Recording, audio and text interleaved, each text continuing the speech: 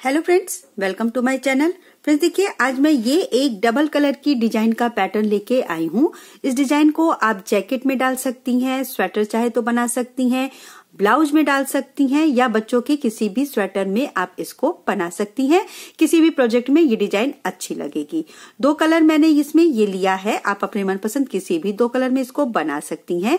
ये देखिए right side है इसकी और ये है इसकी रॉन्ग साइड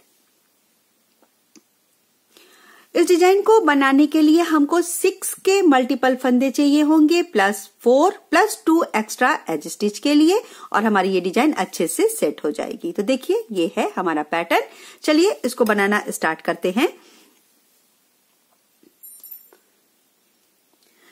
यहाँ पे देखिए मैंने सिक्स प्लस सिक्स करके ट्वेल्व प्लस फोर सिक्सटीन और टू एक्स्ट्रा मैंने टोटल एटीन स्टिच इसमें लिए हैं। पहली सिलाई से बनाना स्टार्ट करेंगे राइट साइड से। तो सबसे पहले मैं अपना इसमें दूसरा कलर लगा लेती हूँ।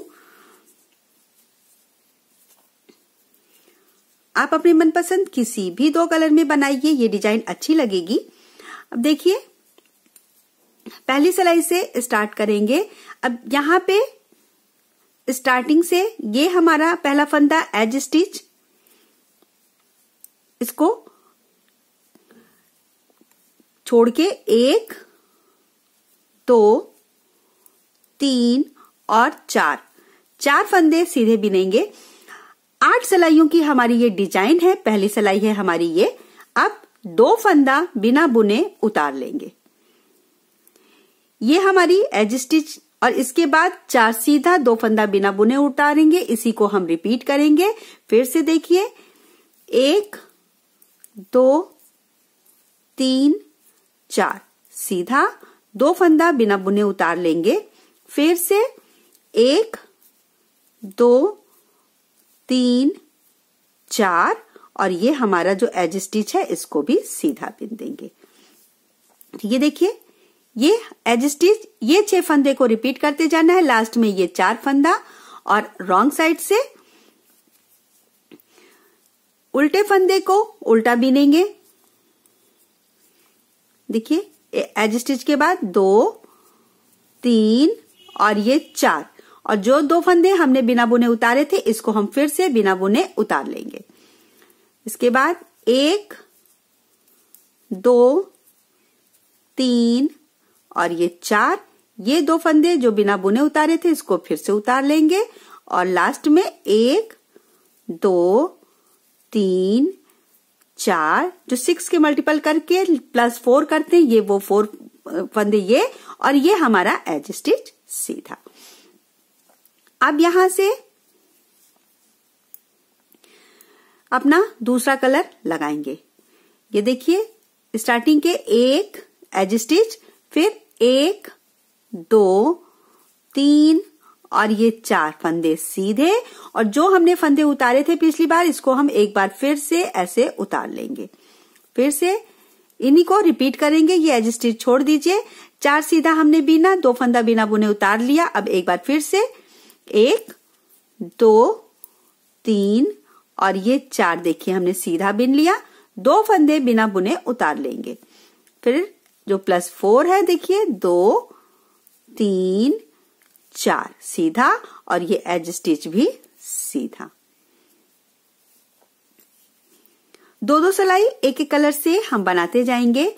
अब रॉन्ग साइड से फिर देखिए एज स्टिच ये हमारा है।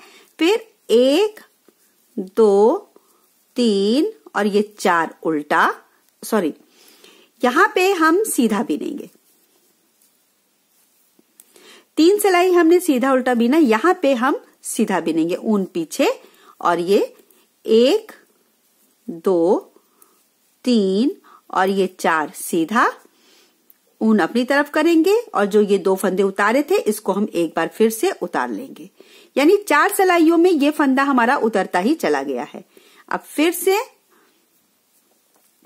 ऊन पीछे करेंगे, एक, दो तीन, चार सीधा, ऊन अपनी तरफ़, एक, दो।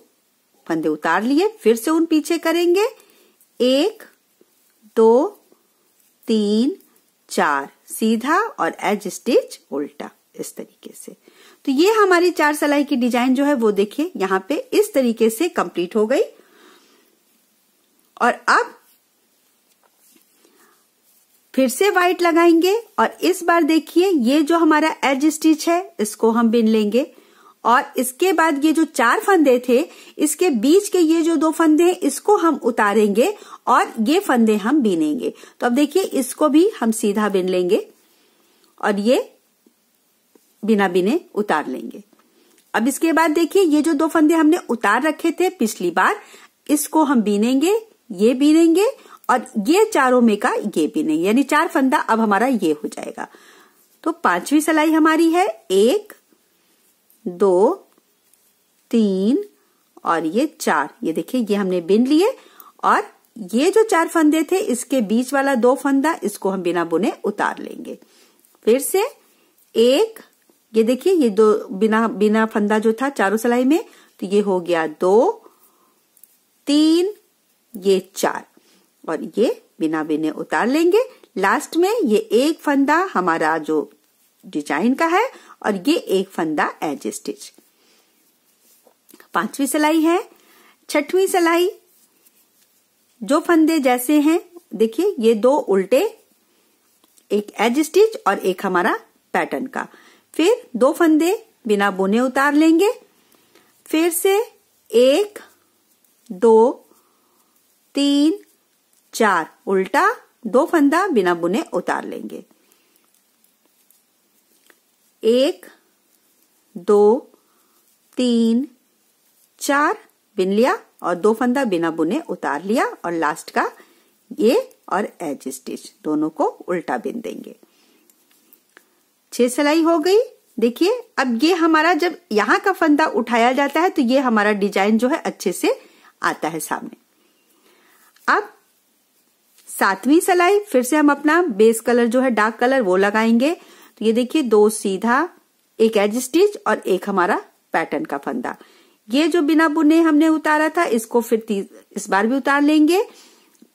छठवीं सॉरी सातवीं सलाई में और एक, दो, तीन, चार, जिसको हमने बिना था, इसको हम सीधा बिन लेंगे।